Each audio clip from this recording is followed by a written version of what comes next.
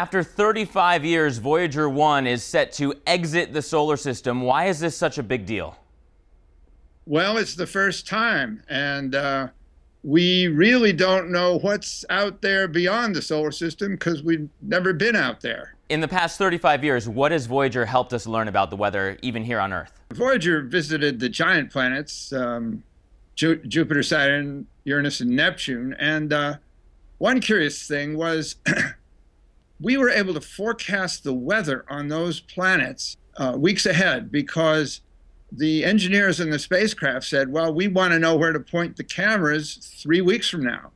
And we had to tell them uh, where the various storms would be. And so what it taught us was that the limits on predicting the weather that we think we understand on Earth don't always apply. And they certainly don't apply on those giant planets uh, where the storms last for uh, decades or even longer.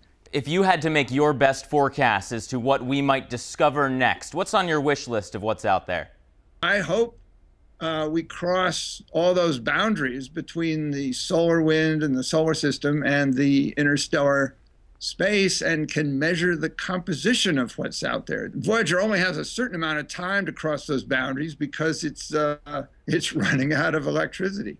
Wow, so it's still a lot to look forward to. Dr. Andrew Ingersoll, professor of planetary science at Caltech, thanks so much for joining us. It was a pleasure.